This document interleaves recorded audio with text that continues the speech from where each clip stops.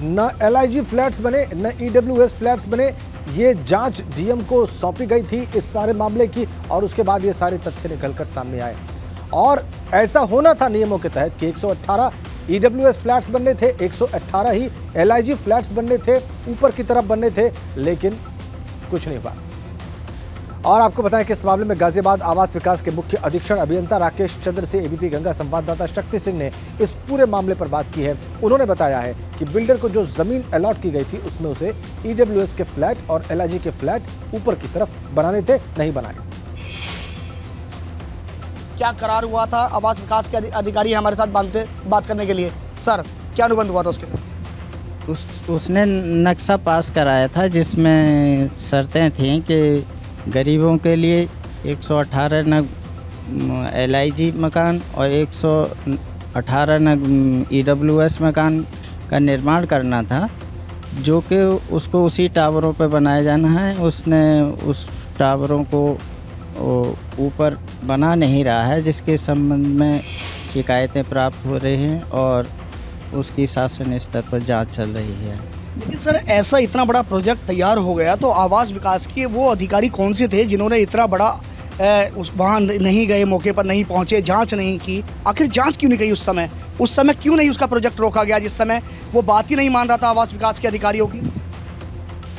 इसमें ये जो नक्शा स्वीकृत हुआ है उसमें उन्हीं जो मकान हैं आम जनता के लिए आवंटियों के लिए हैं उनके ऊपर ही ई डब्ल्यू एस उन्हीं टावरों पर ऊपर बनाने थे।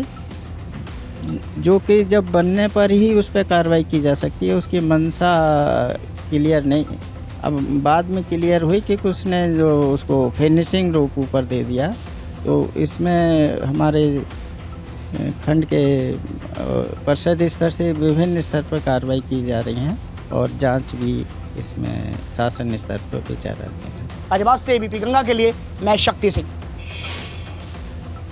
बातचीत आपने देख ली, हमने आपको कुछ तथ्य दिखाए, अब आपको सीधा शक्ति सिंह के पास लिए चलते हैं। हमारे संवाददाता जो इस स्टोरी को कवर कर रहे हैं, इस वक्त हमारे साथ सीधा कनेक्ट है गाजियाबाद से। आइए शक्ति सिंह का रुख करते हैं। शक्ति, हमारे दर्शकों को बताइए कि कितने एरिया में ये फ्लैट्स बने हैं?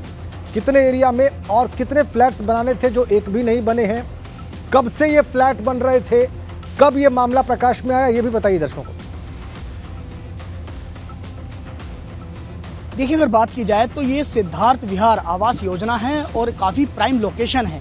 और ये जो ज़मीन जिस समय अनुबंध हुआ आवास विकास के अधिकारियों के साथ तो उसमें साफ़ तौर पे ये कहा गया था कि आपको ई e के, यानी कि जो गरीबी रेखा वाले जो लोग हैं, उनके लिए आपको 118 फ्लैट बनाने पड़ेंगे और आपको एलआईजी यानी कि जो एलआईजी गरीबी रेखा से कुछ थोड़ा सा ऊपर होते हैं, उनके लिए भी, यानी कि 236 फ्लैट आपको ऐसे बनाने पड़ेंगे जो कि आप गरीबी रेखा वालों को देंगे।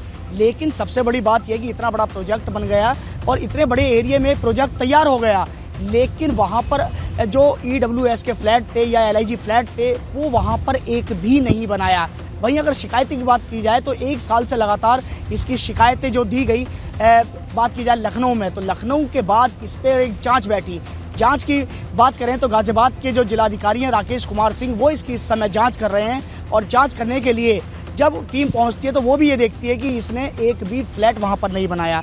वहीं अगर आवास विकास के अधिकारियों की बात की जाए तो आवास विकास की तरफ़ से इसके खिलाफ एक एफआईआर भी दर्ज कराई गई है जो बिल्डर है। लेकिन सबसे बड़ा सवाल या निशान ये है कि इतना बड़ा प्रोजेक्ट और इतना बड़ा प्रोजेक्ट बनने के बाद तैयार हो गया और जिसमें लोग भी रहने लगे तो वहाँ पर एक भी ऐसा फ्लैट नहीं बनाया जो कि शिकायत की शक्ति? यानी शिकायत लखनऊ में किसने की? करार था। बिल्कुल ठीक है। ये ये शिकायत किसने की? लखनऊ में एक ये बात ज़रूर बता दें दर्शकों को। देखिए अगर हम बात की जाए इसमें शिकायत करता की तो शिकायत करते करता कोई और नहीं। इसमें जो बीजेपी के जो नेता अनिल भराला उन्होंने शिकायत की थी। वहीं एक वकील थे उन्होंने भी शिकायत की। तो कहीं ना कहीं उस शिकायत के बाद ही इस पर जाँच बैठी है। लेकिन ये आपने महत्वपूर्ण जानकारी देखी है। बिल्कुल बिल्कुल बिल्कुल सोचने वाली बात है कि कैसे कैसे कॉन्ट्रैक्ट का उल्लंघन किया गया कैसे अनुबंध जो किया गया था उसको उसको जो है तोड़ा गया। ये बिल्कुल साफ़ ज़ाहिर है शक्ति। आपने जितने तथ्य बताए, उन सबसे साफ़ ज़ाहिर है। बहुत धन्यवाद आपका शक्ति से।